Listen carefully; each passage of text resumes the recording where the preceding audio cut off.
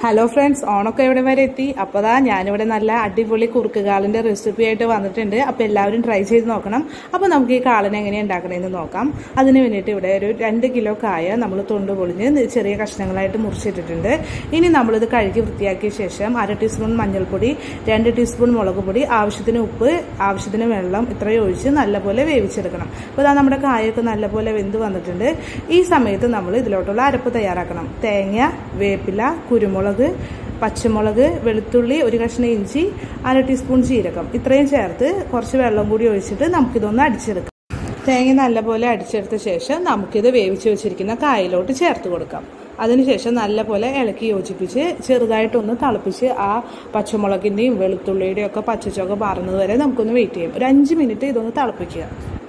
കായ ആയതുകൊണ്ട് അടിയിൽ പിടിക്കാൻ സാധ്യതയുണ്ട്. അപ്പോൾ നമ്മൾ അതുകൊണ്ട് ഇടയ്ക്കിടയ്ക്ക് ഇളക്കി കൊടുക്കണം. അല്ലെങ്കിൽ കായ അടിയിൽ പിടിക്കുക. അപ്പോൾ നമ്മുടെ അരപ്പ് ചേർത്തതിന് ശേഷം ഒരു അഞ്ച് മിനിറ്റ് നല്ലപോലെ തിളപ്പിച്ചതിന് ശേഷം നമ്മൾ ഒരുപാട് പുളിയില്ലാത്ത അത് നേരത്തെ അത്യാവശ്യം പുളിയുള്ള തൈര് ഒരു അര പാക്കറ്റ് മിക്സിയിൽ അടിച്ചതിന് ശേഷം അതുകൂടി ചേർത്ത് നല്ലപോലെ ഒന്ന് തിളപ്പിച്ചെടുക്കുക. അപ്പോൾ അത്രേ ഉള്ളൂ നമ്മുടെ കാള റെഡി ആയിട്ടുണ്ട്. ഇനി നമുക്കിത് കാഴ്ച വയ്ക്കണം അപ്പോൾ അതിന് വേണ്ടിയിട്ട് ഒരു ചീനച്ചട്ടി അടുപ്പത്ത് വെച്ച് വെളിച്ചെണ്ണ ഒഴിച്ച് അര ടീസ്പൂൺ ഉലുവ ഒരു ടീസ്പൂൺ കടുക് വറ്റൽമുളക് കറിവേപ്പില ഇത്രയും ചേർത്ത് ഒന്ന് മൂപ്പിച്ചെടുക്കുക. അതിനുശേഷം ഇത് നമ്മുടെ കാളന്റെ മുകളിലോട്ട് ഒഴിച്ച് നല്ലപോലെ ഇളക്കി മിക്സ് ചെയ്യുക.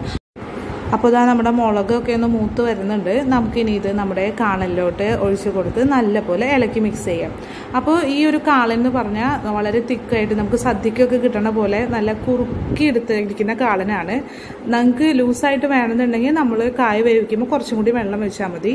പക്ഷേ തിക്കായിട്ടുള്ള കുറുക്ക് കാളന് ഒരു പ്രത്യേക ടേസ്റ്റ് തന്നെയാണ്. അപ്പോൾ ഈ റെസിപ്പി നിങ്ങൾക്ക് ഇഷ്ടപ്പെട്ട് കഴിഞ്ഞാൽ ലൈക്ക് ചെയ്യാനും ഷെയർ ചെയ്യാനും സബ്സ്ക്രൈബ് ചെയ്യാനും മറക്കരുത്. അപ്പോൾ ഇതിൽ നല്ലൊരു വീഡിയോ ആയിട്ട് നമുക്ക് വീണ്ടും കാണാം. താങ്ക്സ് ഫോർ വാച്ചിങ് അപ്പോൾ എല്ലാവരും ഇത് ട്രൈ ചെയ്ത് നോക്കണം.